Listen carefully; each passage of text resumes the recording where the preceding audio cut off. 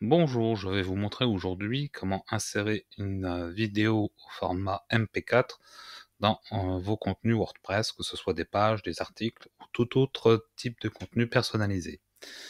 Donc l'objectif c'est d'avoir euh, une vidéo ici qu'on a insérée dans, dans le texte. Donc si on va à côté édition, ça va nous donner ceci. Donc on, retrouve bien notre phrase de texte ici. Voilà ici, et la vidéo en dessous. Donc, pour vous faire la démonstration, je supprime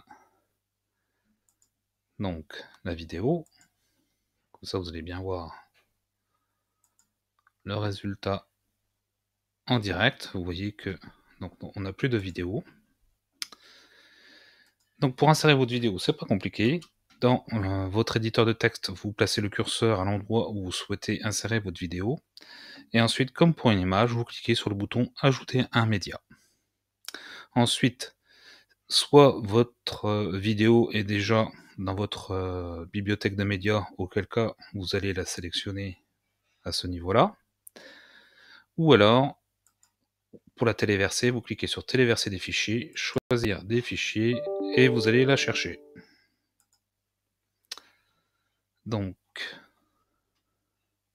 hop, voilà, moins MP4. Et vous laissez euh, charger votre MP4. Alors, attention, il ne faut pas que votre fichier soit euh, compressé. Donc, euh, veuillez bien le dézipper avant de le téléverser dans votre bibliothèque de médias, sinon ça ne pourra pas fonctionner. Et deuxièmement, évitez d'envoyer des vidéos longue parce que ça va être très très lourd. Vous voyez que déjà là, moi c'est une vidéo qui fait 20 secondes, je crois. ça fait déjà un petit moment qu'elle est en train de se télécharger. On est à à peine 20% à peu près.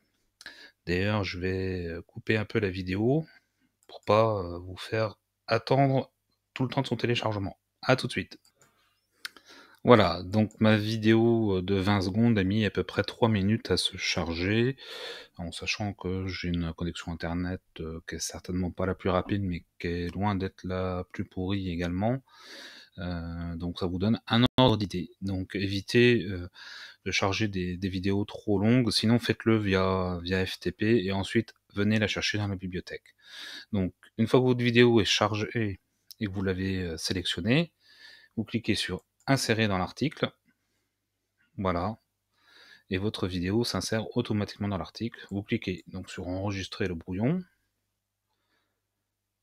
Et ensuite, on va les vérifier avec l'aperçu. Voilà. Donc la page se renouvelle. Et vous voyez que la vidéo est bien revenue. Si on clique dessus, vous allez voir, voilà, elle s'affiche. Donc une vidéo. Voilà, j'en ai maintenant terminé avec ce tutoriel vidéo. Ciao ciao